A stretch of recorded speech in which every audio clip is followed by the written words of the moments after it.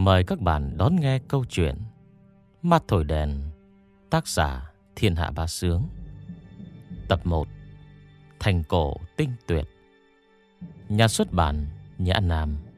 Thực hiện Nguyễn Thành. Facebook facebook.com gạch chéo MC Nguyễn Thành.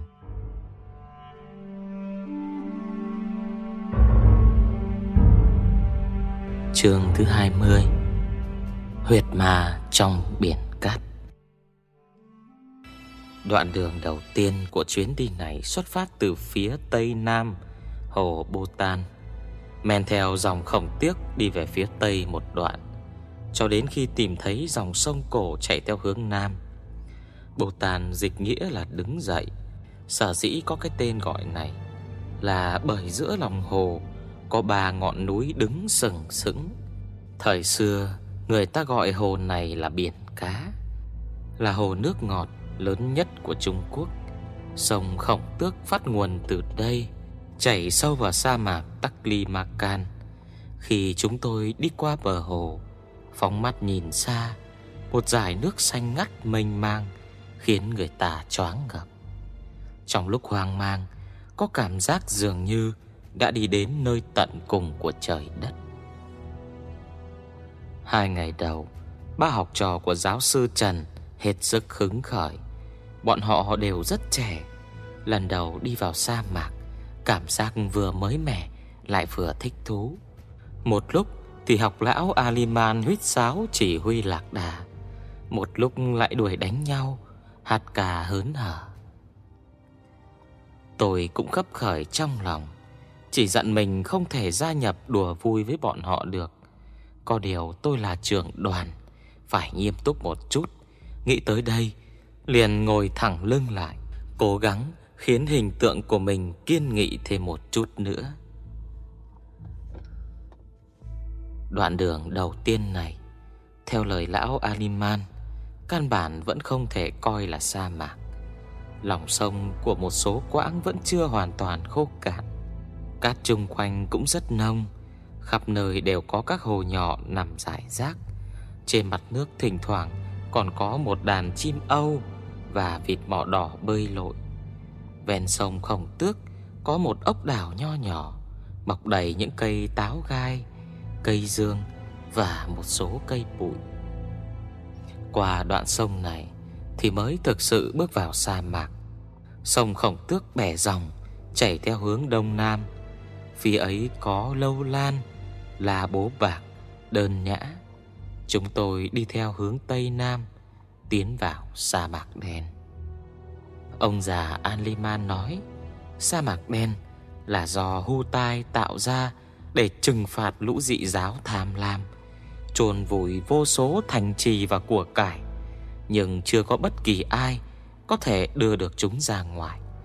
Cho dù anh chỉ cầm một đồng tiền vàng, cũng sẽ mất phương hướng lạc đường và vĩnh viễn bị gió cát vùi lấp, đừng hòng chạy thoát. Đây là một sa mạc lưu động, gió thổi bạt đồi cát, địa hình mỗi ngày một vẻ, không có đặc trưng. Dòng sông cổ đã biến mất từ lâu.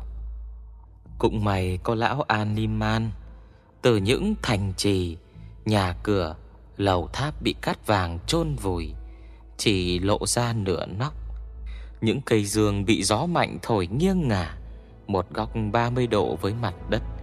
Cho đến cây có tên Sa Sa Un Nhỏ nhỏ trong sa mạc, Đều không thoát khỏi đôi mắt lão luyện của ông già. Những thứ ấy sâu chuỗi lại, Sẽ nói lên một điều. Sông khổng tức cổ từng chảy qua đây. Nơi tận cùng của dòng sông đã biến mất này, Chính là thành cổ tinh tuyệt bị Hu Tai vứt bỏ trong truyền thuyết. Gây ấn tượng sâu sắc nhất đối với chúng tôi trong sa mạc này chính là những cây dương ngàn năm. Nếu không tận mắt trông thấy, ai mà tin được trong sa mạc cũng có cây cỏ. Mỗi cây dương đều tựa như một con rồng dũng mãnh. Tất cả cành cây đều nghiêng lệch về phía đông, tựa hồ như con rồng ấy đang sải chân lao trên sa mạc. Trong môi trường khắc nghiệt ấy, trải qua hàng ngàn năm, Sớm đã chết khô từ lâu. Cành cây bị gió thổi cho gần ép sát mặt đất Thế nhưng vẫn không hề đổ xuống. Tia nắng đầu tiên xuất hiện nơi đường chân trời dọi đỏ cả đám mây nơi góc trời. Dáng trời rực rỡ phủ trùm lên những cồn cát nhấp nhô trong sa mạc. Khóm cây dương cằn cỗi. Giải cát vàng như những vạt sóng. Tất cả đều được nhuốm một màu vàng gạch, Sắc màu sặc sỡ, Như một bức tranh tráng lệ, Đang được trải giữa trời đất mênh mông. Mọi người muốn tránh cái nắng gắt giữa trưa, Nên đi bộ suốt đêm. Đường lúc mệt mỏi, Thấy cảnh sắc này, Ai nấy đều phấn chấn tinh thần. Sở lê dương thốt lên. Sa mạc đẹp quá. Lạy chúa tôi, Mọi người nhìn cây dương kia kìa. Trông như con rồng thần vàng óng trên sa mạc vậy. Nói xong, Liền lấy máy ảnh ra, Bấm máy liên tục, Hy vọng có thể lưu lại được cảnh sắc tuyệt vời này. Khi mọi người đang đắm chìm trong cảnh đẹp, Tôi phát hiện ra lão Animan Đang ngây người, Nhìn vào mặt trời mới mọc. Nét mặt thấp thoáng, đôi chút bất an, Liền chạy lại hỏi. Sao vậy hả ông? Có phải sắp chợ trời? Vì hồi ở nhà, Tôi cũng có nghe nói. Dáng sớm chớ ra đường Dáng chiều đi muôn dặm. Dáng mây đỏ rực buổi sớm, Chắc chẳng phải điểm tốt lành gì. Hôm nay đã là ngày thứ năm, Kể từ hôm xuất phát và là ngày thứ ba kể từ khi tiến vào sa mạc đen. Phía trước là di chỉ thành cổ Tây Dạ.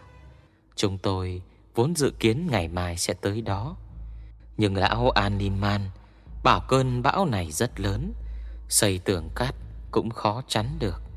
Nếu không mau chóng đến được thành cổ Tây Dạ, Chúng tôi đều sẽ bị chôn sống trong sa mạc. Tôi nghe ông già nói vậy Biết chuyện này không phải trò đùa. Chỗ này cách di chỉ thành cổ Tây Dạ còn hơn nửa ngày đường.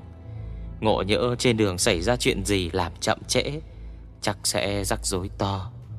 Thế nhưng đi suốt một đêm, Mọi người đều mệt phờ cả rồi. Trong đoàn lại có người già, phụ nữ. Liệu họ có tiếp tục kiên trì được hay không? Tôi nhảy lên lưng lạc đà, Định gọi mọi người mau khởi hành. Thì lại thấy lão Animan trên lưng lạc đà chậm rãi bước xuống. Lôi một tấm thảm ra, Từ từ trải trên cát, Quỳ lên trên, Hai mắt nhắm lại, Sắc mặt thành khẩn, Giang rộng đôi tay hướng lên bầu trời, Sau đó bưng mặt, Cất giọng tụng kinh. Ông ta đang cầu khấn Đức An La đây. Mỗi buổi sáng đều phải cầu nguyện. Tôi thấy ông lặng yên thư thái.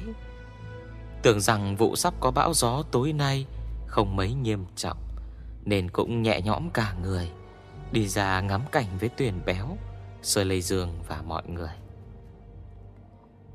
Ai ngờ lão Animan cầu nguyện xong, Dường như biến thành một người khác. Cả người ông già như lên dây cót, Hai bà nhát đã cuộn xong tấm thảm, Rồi bật nhảy lên con lạc đà như lò xo. Sau đó huyết một tiếng sáo dài. Mau chạy đi mà. Chạy chậm rồi sẽ bị chôn xuống cát đen à. Lão thúc lạc đà phía dưới rồi chạy trước. Tôi chửi một câu, Mẹ kiếp lão già chết tiệt. Tình hình gấp gáp như thế, Vừa nãy lão còn khoan thai cầu khẩn, Giờ lại chạy tót đi, Rồi mới gọi mọi người lên đường. Lũ lạc đà cũng cảm nhận được tín hiệu nguy khốn chuyển đến từ bầu trời. Như phát điên Chúng sải bốn chân chạy thục mạng trên sa mạc. Bình thường ngồi trên lưng lạc đà chậm bước, Lúc là lúc lắc cũng thấy thú vị. Nhưng khi chúng chạy thì sóc kinh khủng. Chúng tôi ôm chặt lấy lưng lạc đà, Chỉ sợ giữ không chắc sẽ ngã xuống. Đoàn lạc đà chạy nhanh trên sa mạc, Cát vàng bụi mù cuốn lên thành con rồng khổng lồ. Mọi người đều đeo kính chắn gió, lại dùng khăn trùm đầu, bịt mũi miệng. Tôi nhìn chung quanh, càng lúc càng cảm thấy có gì đó không ổn. Lục Đạc Đà hoàn toàn không thể khống chế, chừng mắt, thở phì phò, Bám theo con lạc đà của lão Animan. Lao như một cơn lốc Xem ra sự việc còn nguy cấp hơn nhiều So với những gì tôi nghĩ. Điều tôi lo lắng nhất Chính là có thành viên nào đó bị lạc đà hất văng xuống. Định hồ cho lão Animan chạy phía trước chậm lại một chút, Nhưng chẳng kịp mở miệng, Mà căn bản là chẳng thể nào mở miệng. Bởi hễ mở miệng ra Là cát bụi sẽ xối vào. Tôi chỉ có thể không ngừng ngoảnh đi ngoảnh lại, Đếm số người trên lưng lạc đà, Chạy một mạch đến giữa trưa. Tuy lũ lạc đà dai sức, Nhưng cũng đã mệt đến mồ hôi ròng ròng, Không thể không đi chậm lại. Cũng may là không ai rớt đoạn. Lão Aliman bảo mọi người tranh thủ ăn mấy miếng lương khô, Uống ngụm nước, Không phải lo hết nước, Dưới di tích thành Tây Giả Có thể tìm thấy mạch nước ngầm, Ở đó sẽ bổ sung nước sau. Ăn nò uống đã, Để lũ lạc đà nghỉ ngơi lấy sức. Cũng may cũng không còn quá xa nữa, Có điều vẫn phải lập tức chạy tiếp. Nếu không sẽ không kịp. Mọi người lấy bánh và thịt khô ăn. Ăn cới quá mấy miếng, Tôi và tuyển béo Đều lo cho mấy tay trí thức này. Lần lượt hỏi từng người xem có bị làm sao không. Giáo sư Trần đã có tuổi, Ngồi trên lưng lạc đà sóc lên sóc xuống. Giờ thở hồng hộc, Chẳng nói được câu nào. Cô nữ sinh Diệp Diệp Tâm Trẻ tuổi nhất đoàn thì nôn ọe. Hai người họ chỉ uống chút nước, Chẳng ăn được gì. Khốn khổ nhất là hách ái quốc. Cặp kính cận của anh ta bị rơi mất, Chẳng nhìn rõ thứ gì. Cứ cuống hết cả lên. May mà anh nghiên cứu sinh táp đế bằng cũng cận, Đem theo một cặp kính đề phòng. Độ cận thị của họ gần như nhau, Nên mới giải nguy được cho hách ái quốc. Sơ Lê Dương và Sở Kiên, Anh chàng cao to Thì chẳng hề hấn gì.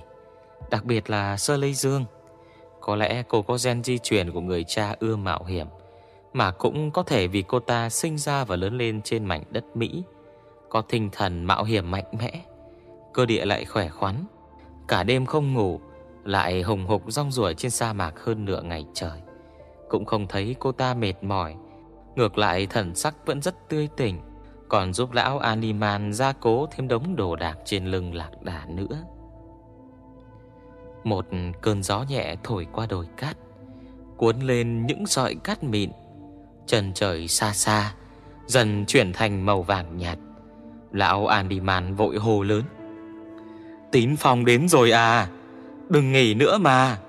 Đức An La phù hộ, Chúng ta bao nhiêu người thế này, Mau chạy đi mà. Những thành viên của đoàn khảo cổ Lê thân thể mệt nhọc. Một lần nữa, Trèo lên lưng lạc đà. Lúc này chẳng còn để ý Xem sức khỏe của lạc đà thế nào nữa. Cứ thúc chạy thật nhanh. Vừa nãy bầu trời vẫn còn sáng trong. Dường như trong nháy mắt Đã tối sầm lại. Cơn gió ập đến quá nhanh. Bụi cát bị gió cuốn lên mỗi lúc một nhiều. Bà bể bốn bên Ngập trong giải cát bụi mù mịt trời đất. Tầm nhìn mỗi lúc bị thu hẹp, Trong cơn hỗn loạn, Tôi lại đếm nhầm số người trong đoàn, Cộng thêm cả tôi, Cả thầy tám người. Ai đó rớt lại rồi. Gió thổi ngày một dữ, Cát xối tung trời, Khắp nơi giạt một màu vàng nhạt. Tôi không nhìn rõ ai đã rớt đoàn, Có điều đoàn lạc đà vừa mới rời khỏi đồi cát trăm mét Giờ quay lại kiếm người vẫn còn kịp. Người tôi nghĩ tới đầu tiên là Sơ lây Dương. Không có cô ta thì tiền của bọn tôi coi như mất. Thế nhưng ngay tức khắc, Tôi vứt ý nghĩ ấy ra khỏi đầu mình. Quá ích kỷ. Mạng người Mỹ cố nhiên quý báu. Nhưng mạng người Trung Quốc chúng tôi Cũng đâu phải lấy thóc lấy muối ra mà đổi được. Không thể để bất kỳ ai rớt khỏi đoàn được Bên cạnh tôi là Tuyền Béo, Cũng là người duy nhất tôi có thể nhận ra. Tôi muốn nói với cậu ta, Nhưng gió cát xối xả, Không thể mở miệng. Đành ngồi trên lưng lạc đà lấy tay ra hiệu, Bảo cậu ta chặn lão An Liman đang phóng phía trước lại. Trong khoảnh khắc đó 20 con lạc đà chạy xa hơn chục mét. Tôi không kịp nhận ra tuyển béo có hiểu ý mình không. Vừa quay người đã bị văng khỏi lưng lạc đà, Đang cắm đầu cắm cổ chạy. Vết chân của lũ lạc đà dẫm trên sa mạc đã bị gió cát thổi mờ. Sẽ biến mất tức khắc. Tôi đội gió, đội cát chạy về hướng xuất phát. Cảm thấy cơ thể mình mỏng như tờ giấy. Mỗi bước đi đều không làm chủ được. Bất cứ lúc nào cũng có thể bị cơn gió dữ cuốn phăng đi. Bên tai ngoài tiếng gió ra không nghe thấy bất kỳ âm thanh gì khác nữa. Chạy loạn choạng gần 200 mét, Cuối cùng cũng thấy một người nằm trên đụn cát ban nãy vừa nghỉ ngơi. Cơ thể người này đã bị cát phủ một nửa, Không biết sống chết thế nào. Tôi vội chạy lại, Kéo người ấy ra khỏi đống cát. Thì ra là giáo sư Trần. Tình hình ông ấy lúc này Đã không được ổn lắm. Có thể lúc mọi người nhảy lên lạc đà vì quá hấp tấp, Ông đã bị con lạc đà hất xuống. Giáo sư Trần vẫn còn sống, Chỉ là sợ quá mà nói không ra lời. Thấy tôi chạy đến, Lại ngất lịm đi vì quá kích động.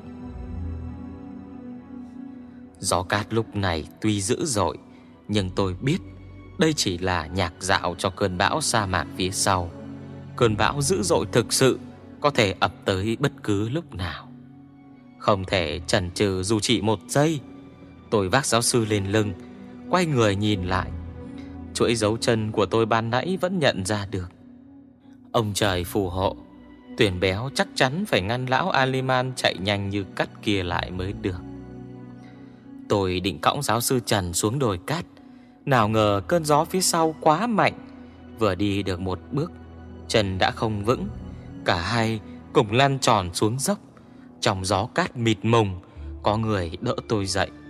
Hóa ra, Tuyền béo đã hiểu ý tôi, Lấy dao chọc mạnh vào mông con lạc đà, Đuổi kịp lão Animan, Kéo lão ta xuống. Bầy lạc đà thấy con đầu đàn dừng lại, Trong phút chốc đều đứng yên, Chỉ có con bị thương ở mông Là chạy như điên về phía trước. Chợp mắt đã mất hút trong khoảng gió cát mênh mang. Cũng may mà bọn họ chưa chạy quá xa nếu không căn bản, Chẳng thể quay lại được. Lúc này chẳng ai nói được lời nào. Chỉ lấy tay ra hiệu. Hiểu được thì hiểu, Không thì cứ làm theo là được. Ai nấy đều chuẩn bị trèo lên lạc đà chạy tiếp. Nhưng lũ lạc đà dường như quá sợ hãi. Không chạy nữa, Mặc cho lão An Liman có đánh đập thế nào, Cũng không nghe lời. Dàn thành một hàng, Phủ phục trên mặt đất, Vùi đầu vào trong cát. Trên đường chúng tôi thấy không ít xương lạc đà trắng héo. Lúc chết, tư thế đều y như thế này. Giống như những tội nhân nhận hình phạt vậy. Lão Animan bảo lũ lạc đà khiếp hãi trước gió cát đen của Hu Tai. Chúng biết gió cát đen sắp tới, Có chạy cũng vô ích. Dứt khoát quỳ ở đây đợi chết cho xong. Sự việc xảy ra quá đột ngột. Chúng tôi bó tay hết cách. Chẳng lẽ ngồi đây đợi cát vàng trôn sống hay sao? Mùi vị ấy chắc không dễ chịu cho lắm.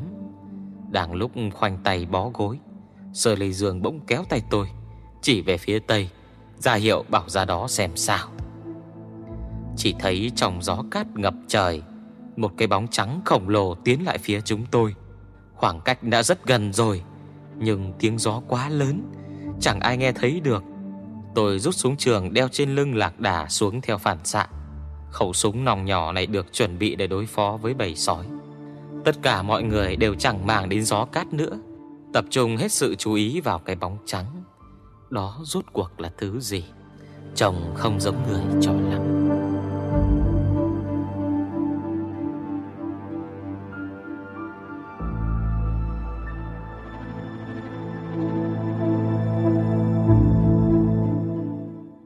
Bóng trắng như một hồn ma. Trong nháy mắt, đã đến bên cạnh chúng tôi. Đó là một con lạc đà cao to gấp ba lần lạc đà thường. Trên lưng chỉ có một cái biếu, Toàn thân một màu trắng tuyết. Trong dài cát vàng lại càng thêm nổi bật. Lạc đà hoang! Mấy người biết loài lạc đà này cùng thầm thốt lên trong dạ. Lạc đà thường và lạc đà hoang, Ngoài hình thể khác nhau ra Điểm khác nhau lớn nhất giữa chúng Chính là cái biếu trên lưng. Lạc đà được con người nuôi có hai biếu, Còn lạc đà hoang Chỉ có một. Qua lớp kính gió, Tôi phảng phất như thấy đôi mắt lão Aliman lóe sáng. Đó là những tia sáng vui mừng của kẻ tìm được sự sống trong cái chết. Lão phấn khích khua hai cái tay lên rời ca tụng Đức Anna. Những con lạc đà quỳ trên mặt đất Dường như cũng được gọi dậy, nhấc đầu ra khỏi đống cát. Tôi tuy không hiểu chuyện gì đang xảy ra, Nhưng dùng trực giác lý giải hành động của chúng Chúng tôi vẫn còn cơ hội sống sót. Chỉ cần đi theo con lạc đà hoang trắng như tuyết này là được. Nó là loài động vật trong sa mạc này, Chắc chắn biết ở đâu Có thể tránh được gió cát đen của hụt tai Tôi lập tức ra hiệu cho những người còn lại trèo lên lưng lạc đà, Chạy theo con lạc đà hoàng phía trước. Lũ lạc đà cúi đầu, Chạy sùi cả bọt mép, Dốc hết sức lực còn lại, Bám sát con lạc đà trắng, Vòng qua một cái đồi cát lớn, Địa thế của sa mạc nơi đây đột ngột cao ngút, Trong nháy mắt bóng con lạc đà trắng kia đã mất tăm.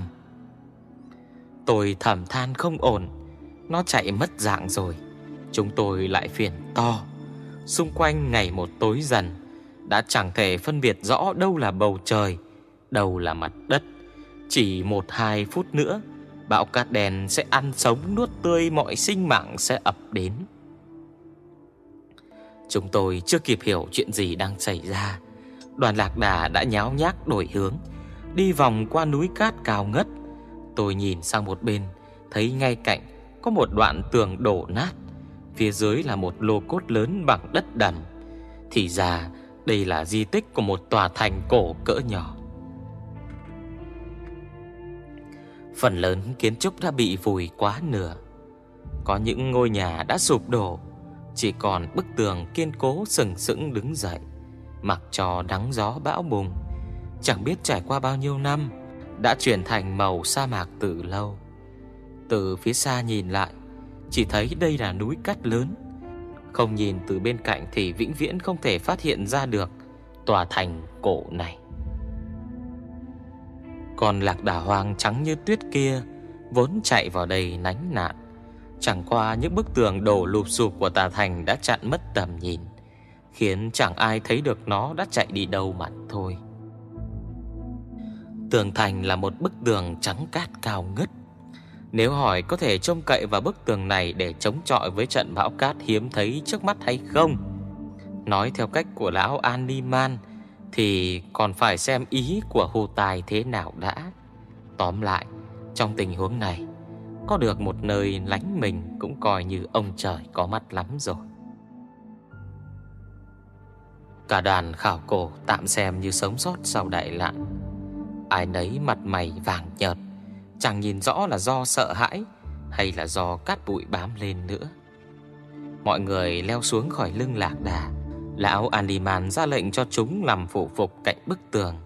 Sau đó dắt cả đoàn lần lượt Trèo xuống một căn nhà lớn qua cái nóc đã vỡ toang Thành cổ tuy có bức tường thành ngăn cản gió cát, Nhưng có chỗ đã bị sập đổ.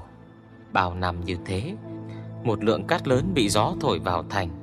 Chật đầy trong những căn nhà vốn đã bị hư hỏng, Tạo thành một lớp cát dày đến hơn 2 mét. Căn nhà lớn chúng tôi chui xuống lánh lạn, Có thể là một dạng nha môn Hay tòa thị chính, Không gian tương đối cao rộng, Tuy vậy vẫn phải khom lưng xuống, Chỉ cần hơi ngẩng đầu Là đụng ngay phải giường nhà phía trên.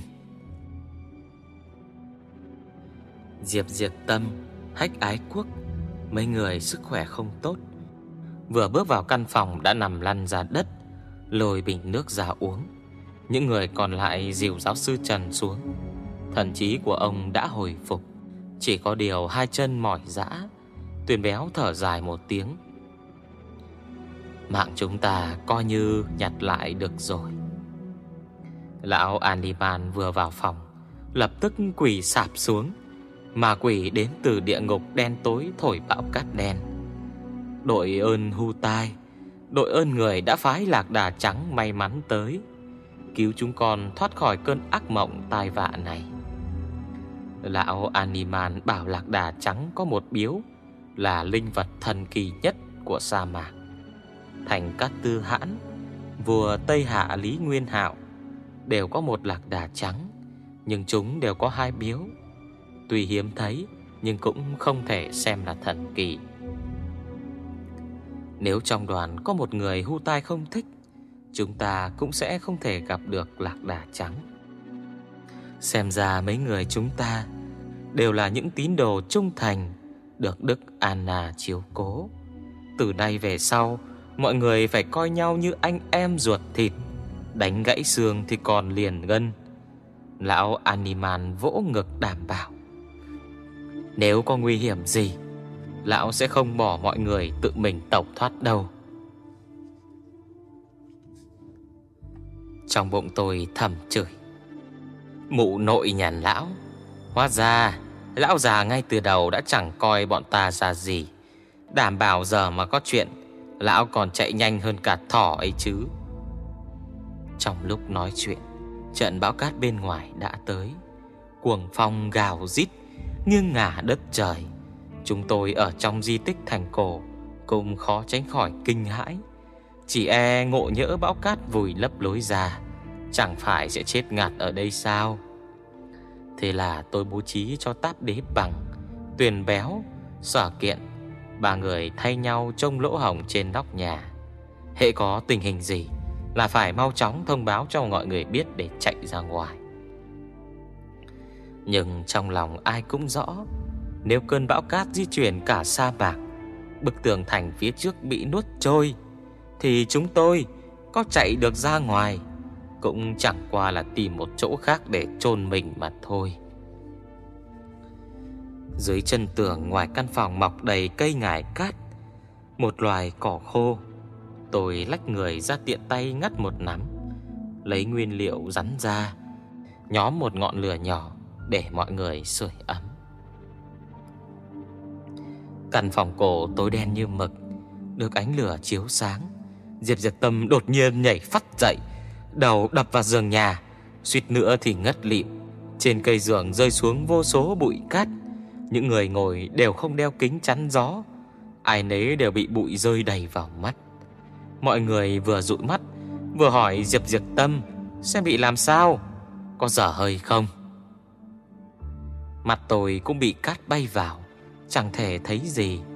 Bên tai chỉ nghe thấy tiếng Diệp Diệp Tâm, Run rẩy bảo, Có Có một cái xác chết ở góc tường bên phải.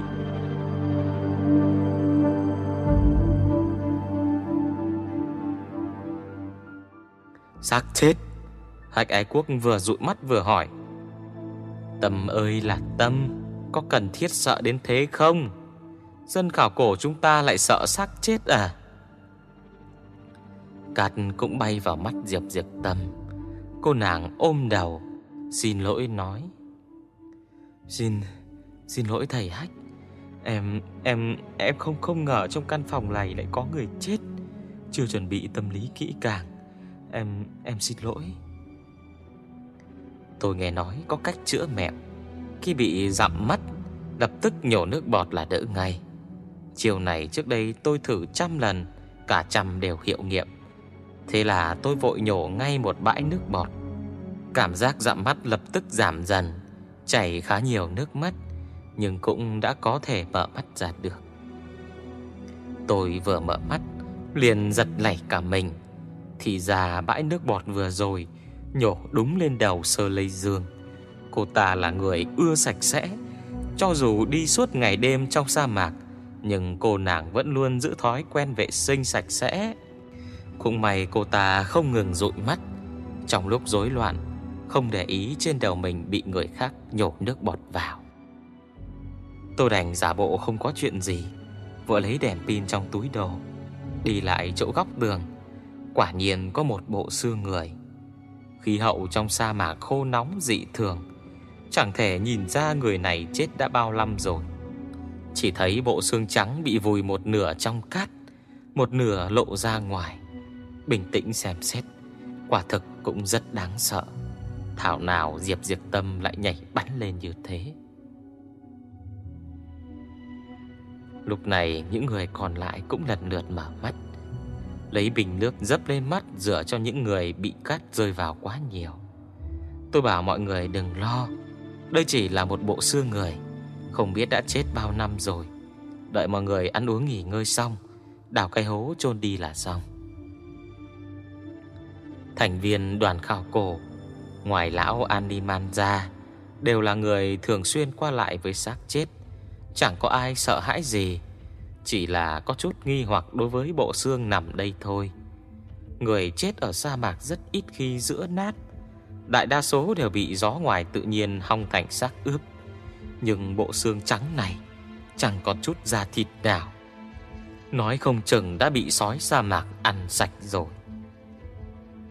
Lão Animan cho rằng điều này không lấy gì làm lạ.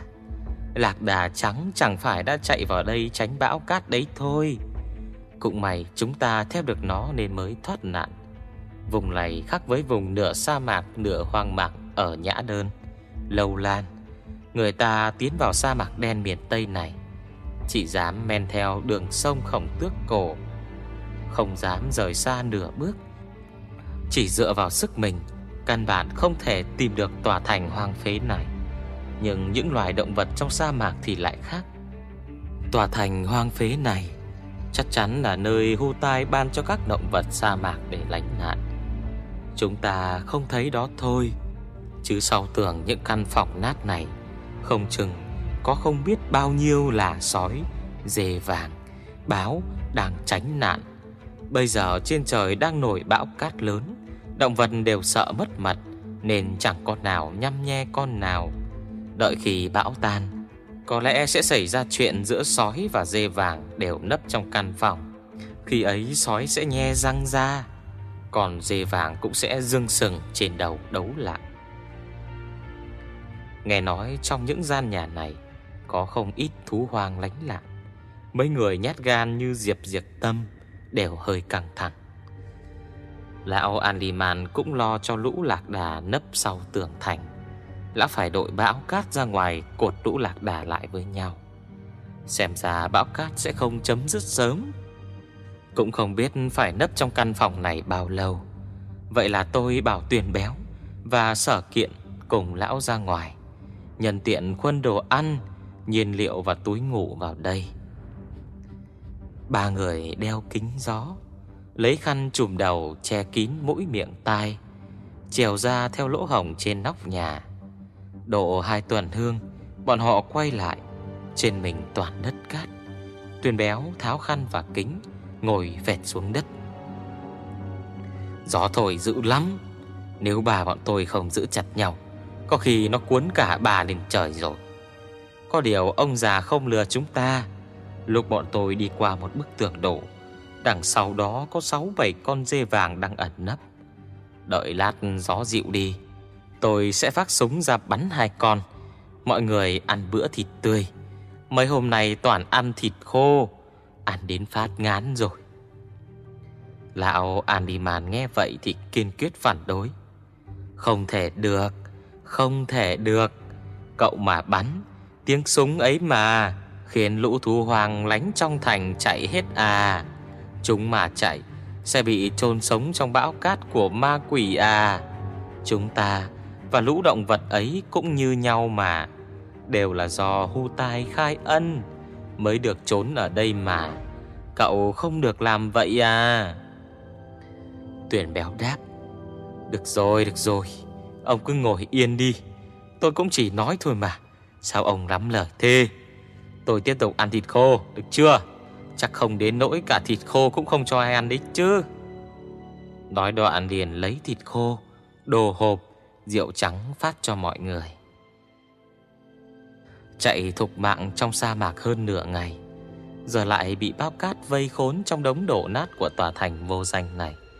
Ngoài tiền béo và lão Animan Những người còn lại Chẳng ai có bụng dạ ăn uống nữa. Tôi quan tâm đến giáo sư Trần. Ông già cao tuổi nhất, Trong sa mạc lại thiếu thuốc thang. Tốt nhất là không xảy ra chuyện gì bất chắc.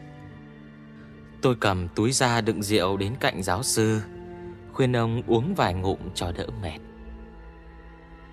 Sở Lầy Dương và Hách Ái Quốc đỡ giáo sư Trần ngồi dậy. Mấy người học trò ngoài sở kiến, Đến lượt ra trông lỗ hồng trên nóc nhà. Ai cũng quan tâm ngồi xung quanh giáo sư. Giáo sư dường như đã hồi phục Uống lấy hấp rượu Rồi cười gượng. Hì, nhớ ngày trước Đi làm công tác bên ngoài Sau đó bị nhốt vào chuồng trầu hơn 3 năm Rồi lại đến nông trường cải tạo lao động xẻ núi đào đá. Bao nhiêu tội vạ chịu đựng cả rồi Nhưng vẫn đứng dậy được. Giờ già rồi Vô tích sự rồi. Hời Hôm nay may mà có anh nhất đây. Không có anh, Chắc cái tấm thân giả này bị trôn sống trong bão cát rồi. Tôi an ủi ông mấy câu, Bảo tôi không thể lấy chuyện số tiền của Sơ Lê Dương được. Đây đều là chuyện trong phận sự. Nếu ông cảm thấy thân thể khó chịu, Chúng ta sẽ quay về sớm. Vẫn còn kịp, Chứ đi qua thành cổ Tây Dạ là vùng trung tâm của sa mạc đen. Môi trường khắc nghiệt hơn ở đây rất nhiều. Đến lúc ấy, Có hối cũng không kịp nữa. Giáo sư Trần lắc đầu, Tỏ ý kiên quyết đi tiếp, Bảo mọi người chớ lo. Bão cát như thế này, Trăm năm mới gặp một lần, Không xảy ra thường xuyên. Chúng ta lánh được, Thì tai qua nạn khỏi, Sau ắt có phúc lớn. Tôi đang định khuyên thêm mấy câu. Sơ Lê Dương đã kéo tôi ra một bên nói nhỏ. Anh Nhất, Trước tôi thấy anh hơi trẻ Để làm người dẫn đoàn. Cũng lo anh không đủ năng lực và kinh nghiệm. Hôm nay thì tôi biết rồi, Đoàn trưởng dứt khoát phải là anh. Tôi có việc này mong anh giúp. Hôm nay chúng ta đã nếm mùi uy lực của thiên nhiên. Sĩ khí của mọi người giảm sút không ít. Tôi mong anh có thể cổ vũ mọi người, Khiến cả đoàn phấn chấn lại. Việc này không dễ, Nhưng bà chủ đã có lời, Thì tôi cũng đành làm theo thôi. Lúc mọi người quây quần ăn uống, Tôi mới nói, Kính thưa, Các đồng chí, Không khí của chúng ta Lúc này có hơi trầm uất.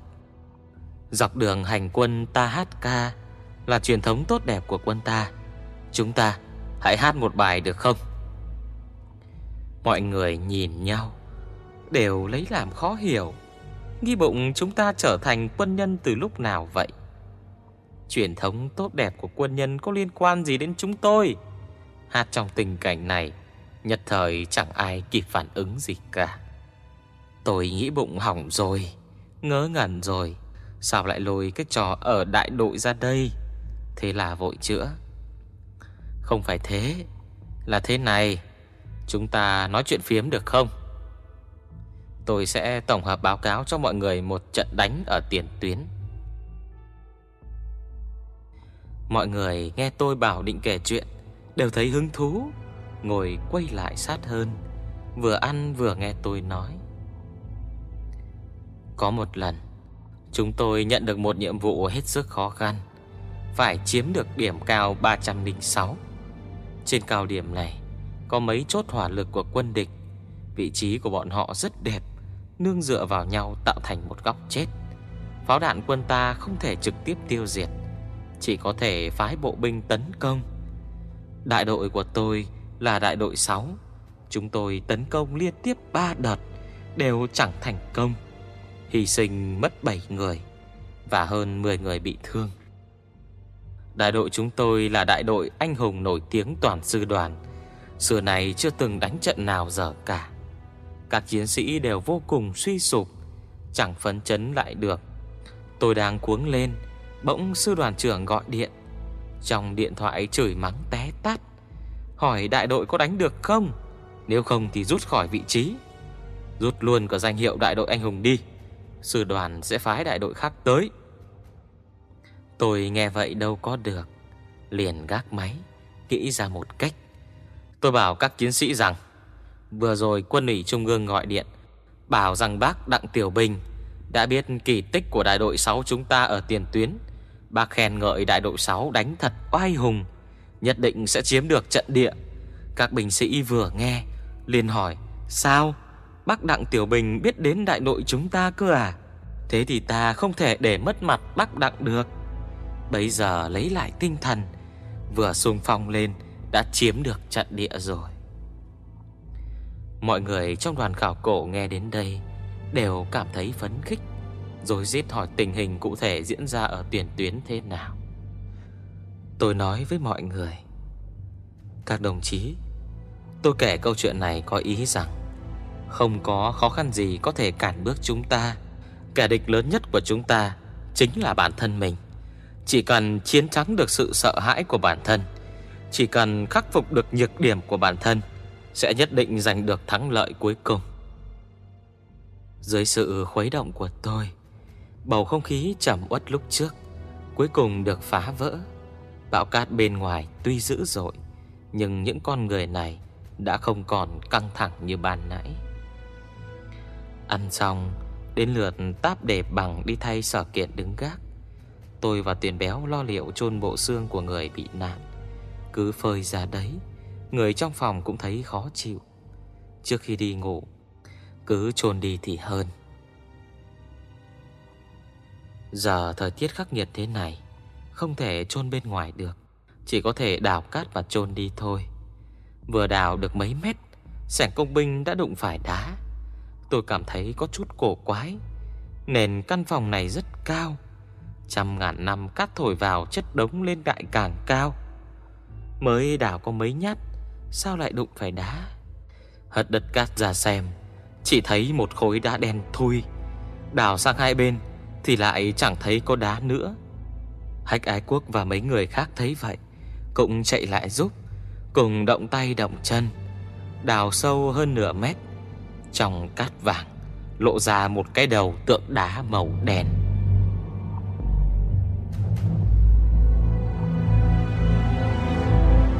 Đầu người này phải to bằng hai cái đầu người bình thường cộng lại. Mặt hình quả chám, Thuôn dài, Tỷ lệ quá lớn so với ngũ quan trên khuôn mặt, Trông rất mất cân đối. Đỉnh đầu không có mũ, Chỉ vấn hai búi tóc, Vẻ mặt hết sức thanh thản, không có vẻ hỉ nộ ái ố gì. Vừa giống như tượng thần được thờ cúng trong đền miếu, Vừa giống như người đá đặt trên đường núi vào lăng tẩm cỡ lớn. Nhưng phán đoán theo vị trí của tượng đá trong căn phòng này, Thì khả năng thứ nhất có vẻ nhiều hơn. Tôi thắp một ngọn đèn măng sông, Giáo sư Trần đến xem, Rồi bảo hách ái quốc, Cậu xem cái tượng đá này, Có phải trước đây đã thấy ở đâu rồi không nhỉ? Hách ái quốc đeo cặp kính cận lên, Xem xét cẩn thận. À đúng rồi, Tân Cương từng khai quật một khu mộ hàng ngàn quan tài. Trong ấy cũng có một người đá giống y hệt thế này Đôi mắt rất đặc biệt Khác hẳn với người bình thường Đây chắc là tượng đá mắt to đó đây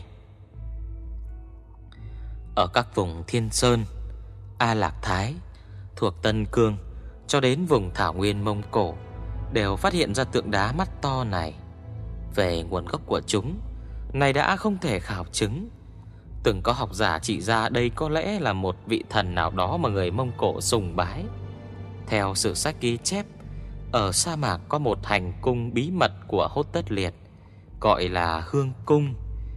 Tượng người đá này đầu tiên được thờ trong hương cung ấy. Nhưng về sau, trải qua bao nhiêu năm, Cuối cùng với sự phát triển của những di tích và mộ cổ con niên đại sớm hơn nữa Người ta đều thấy trong đó có tượng người đá mắt lớn Và đánh đổ giả thiết hương cung kia. Có người bảo đây là di vật của người đột quyết để lại, Nhưng cuối cùng cũng vẫn không có cách giải thích sắc đáng. Đây thành ra một trong vô số những bí ẩn khôn giải của lịch sử khảo cổ. Mấy sinh viên trong đoàn khảo cổ từng thấy tượng đá mắt to, Đều lấy bút ra ghi ghi vẽ vẽ vào vở. Rồi bàn bạc định đào nốt cái đống cát phía dưới. Để xem toàn thân bức tượng. Hạch ái quốc giảng giải cho họ một số kiến thức liên quan, Bảo hôm nay mọi người mệt cả rồi, Nghỉ ngơi đã. Ngày mai đợi cơn bão đi qua, Thu dọn đống cát trong căn nhà, Xem xem có phát hiện được gì hay không. Tôi chọn chỗ khác đào cát, chôn cất bộ xương của kẻ gặp nạn. Trên mình người này không có bất kỳ thứ gì Để xác minh được lai lịch và thân phận. Ngay cả tấm bia mộ đơn giản Cũng chẳng có cách nào làm cho người ta. Ở nhà sống sung sướng có thích hơn không? Lại lang bạt trong sa mạc này Để bị đầy đọa. Thôi thì hãy yên nghỉ ở nơi này đi. Tôi coi đồng hồ, Đã xế chiều rồi. Cơn bão cát ngoài trời vẫn rít lên không ngừng. Và lại có chiều hướng càng ngày càng mạnh lên. Không chừng, thổi cả đêm cũng nên. Ngoài táp đế bằng canh gác ra, Những người còn lại đều xoa cát mịn vào chân, Rồi chui vào túi ngủ đi nghỉ. Cách này học được từ lão An Liman Ở sa mạc. Nước là vàng dòng, Rửa chân chỉ có thể dùng cát mịn. Tôi ra tìm táp đế bằng đang gác ở lỗ hỏng trên trần nhà. Bảo anh ta ngủ đi một lúc, Tôi gác thay. Tôi ngồi ở góc tường, Ôm súng trường thể thao vào lòng, để phòng thú hoang đột nhiên lẻn vào tấn công. Vừa hút thuốc, Vừa nghe tiếng gió xít ngoài trời. Nghị chuyện giáo sư Trần và mấy người phải tiếp tục tiến sâu vào sa mạc, Lại thấy đau đầu. Ai mà biết phía sâu trong sa mạc đen kia Ẩn chứa bao nhiêu nguy hiểm và cảm bẫy. Hôm nay gặp bão cát Mà không có ai thương vong, Đây quả thực có thể coi là kỳ tích rồi. Tôi nghĩ đến ngây cả người, Hút hết điếu này tới điếu khác, Chẳng biết ngồi bao lâu, Sắc trời ngoài kia đã đen kìn kịt, Tiếng gió vẫn to như thế, Tựa như tiếng gào khóc của vô số ma quỷ. Chọc chọc lại có đám cát rơi vào các hốc trên trần. Cơn gió này mà không ngừng lại E rằng bức tường đổ ngoài kia Sẽ bị bao cát luốt mất. Lúc này tôi phát hiện ra Sơ Lê Dương đã tỉnh giấc. Cô thấy tôi ngồi canh ở góc tường, Liền bước lại, Xem chừng định nói chuyện với tôi. Thường ngày tôi rất ít khi nói chuyện với cô, Chủ yếu là bởi cô và Tuyền Béo, Hai người không hợp nhau. Nhìn thấy nhau là thấy chướng mắt.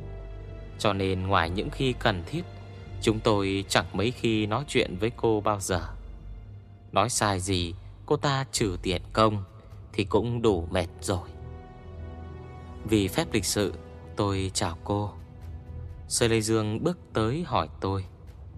Anh Nhất này, Anh cũng đi nghỉ một lát đi. Tôi trông thấy anh hai tiếng. Tôi bảo không cần đâu. Đợi chốc nữa tôi gọi tuyển béo ra gác thay. Cô cứ người tiếp đi. Thế nhưng cô ta lại ngồi đối diện với tôi, Rồi bắt chuyện.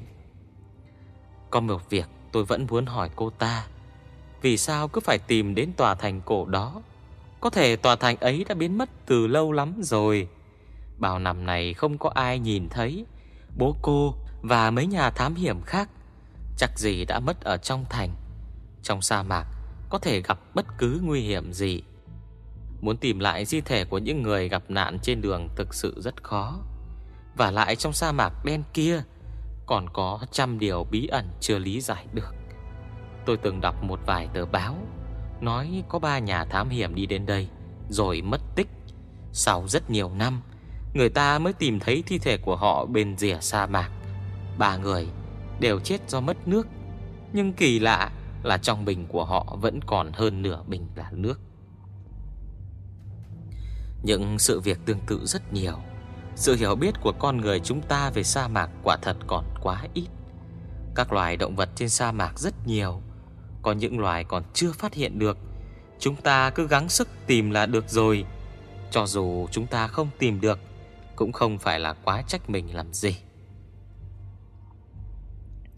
Sơ Lê Dương gật đầu. Anh nói rất có lý. Nhưng tôi từ đầu chí cuối vẫn tin chắc đoàn của bố tôi đã tìm thấy thành cổ tinh tuyệt.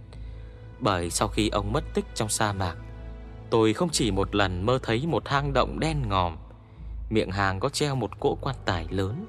Trên quan tài khắc toàn chữ quỷ động, Còn buộc rất nhiều sợi xích sắt. Trên quan tài còn úp thứ gì đó rất lớn. Tôi không nhìn rõ là thứ gì.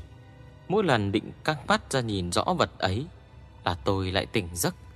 Hơn nửa năm nay, Tôi hầu như đêm nào cũng mơ thấy cảnh đó. Tôi tin rằng bố tôi đã về báo mộng.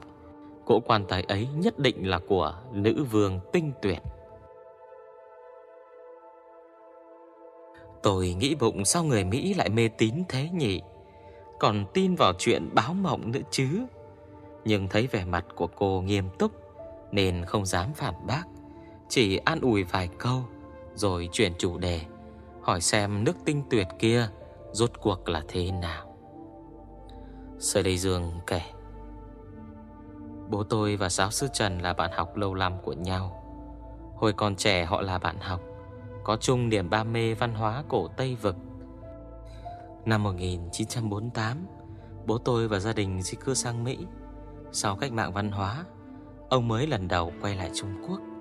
Hồi ở Mỹ, Bố tôi từng mua một lô văn vật, Đều là văn vật quý giá của các nhà thám hiểm châu Âu, Khai quật trong sa mạc Tân Cương, Khoảng đầu thế kỷ thứ 19 Những nhà thám hiểm châu Âu đó Từng phát hiện ra một di tích thành cổ Ở gần ốc đảo Nê Nhã. Theo khảo chứng thì di tích và văn vật ở đó Đều từ thời Hán, Suy đoán dựa theo một số manh mối. Nơi đó rất có thể chính là di tích của nước tinh tuyệt. Quốc gia cường thịnh nhất trong 36 nước Tây vực khi xưa.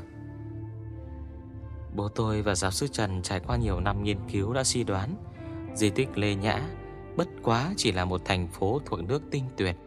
Còn thành phố trung tâm nước tinh tuyệt phải nằm ở phía bắc Nê Nhã, Du hạ sông Tử Đốc. Bố tôi hy vọng trong lúc còn sống Có thể đích thân tìm đến di trị thành cổ tinh tuyệt này. Nên mới mạo hiểm tổ chức một đoàn thám hiểm tiến vào sa mạc. Còn về thành cổ từng một độ huy hoàng nhất này, Ghi chép còn giữ được tới ngày nay đã không còn nhiều. Nước tinh tuyệt là thủ lĩnh liên minh của các quốc gia nhỏ từ Tây vực hồi đó. Những nước nhỏ đó, Nhìn theo con mắt bây giờ, Bất quá chỉ là một vài tòa thành lớn nhỏ hình thành một cách tự nhiên, Trên tuyến đường thông thương mà thôi. Mỗi một thành coi như một nước. Nước lớn mạnh nhất trong số tất cả các nước nhỏ kia Chính là tinh tuyệt. Người tinh tuyệt chủ yếu là người dân quỷ động. Ngoài ra còn xen lẫn dân tộc thiểu số khác. Sau khi vị nữ vương cuối cùng của nước tinh tuyệt chết đi, Tòa thành này cũng chìm luôn trong biển cát. Là bị hủy hoại bởi thiên tai Hay bởi chiến tranh Đều không thể biết được. Cứ như quốc gia này chưa từng tồn tại vậy. Cho đến tận trước khi chiến tranh thế giới thứ hai nổ ra. Có một nhà thám hiểm người Anh Dẫn đoàn thám hiểm của mình tiến vào sa mạc Taklimakan Cuối cùng, Chỉ còn một mình ông ta sống sót trở về. Thần trí ông ta hoàn toàn suy sụp. Nhưng qua mấy tấm ảnh trong máy Cùng những dòng nhật ký Thì đã chứng thực được sự tồn tại của thành cổ tinh tuyệt cả có thật. Cũng có những người định đi tìm Dựa theo manh mối này. Nhưng ngày sau đó Thế chiến thứ hai bùng nổ Cho đến 3-4 năm gần đây, Các đoàn thám hiểm mới có cơ hội tiến vào sa mạc tìm kho báu và di tích. Sơ lầy giường lấy một bọc nhỏ đưa tôi xem. Tôi đón lấy mở ra. Bên trong là mấy tấm ảnh đen trắng đã hoen vàng và một quyển sổ cũ kỹ toàn tiếng Anh. Nước ảnh rất mờ. Thấp thoáng vẫn nhận ra trong bức ảnh là một thành phố trong sa mạc. Ở giữa là một tòa tháp, chi tiết cơ hồ như đều không thể nhìn rõ. Tôi hỏi Sơ Lê Dương Đây lẽ nào là Sơ Lê Dương gật gật đầu nói Đúng thế Đây chính là những tấm ảnh và nhật ký của ông Watt Nhà thám hiểm từng đích thân tới thành cổ tinh tuyệt Mà bố tôi đã từng mua lại từ nước Anh những thứ này cũng cho chúng ta một ít manh mối. Chỉ có điều trong cuốn nhật ký này, Chỉ viết đến đoạn đoàn người tới hạ du sông Tử Độc và nhìn thấy một tòa thành to lớn, Chuẩn bị sáng sớm hôm sau tiến vào thám hiểm. Sau đó thì chẳng biết gì nữa.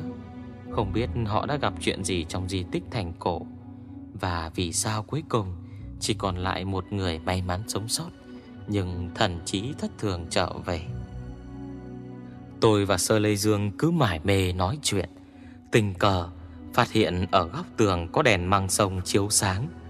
Con mắt của tượng người đá mắt to, Có cái đầu to tướng kia, Hình như động đậy. Đã một ngày hai đêm không chập mắt, Lẽ nào tôi hòa mắt ư?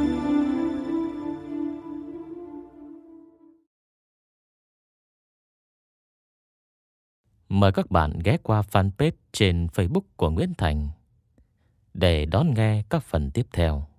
Địa chỉ facebook.com gạch chéo MC Nguyễn Thành. Xin cảm ơn.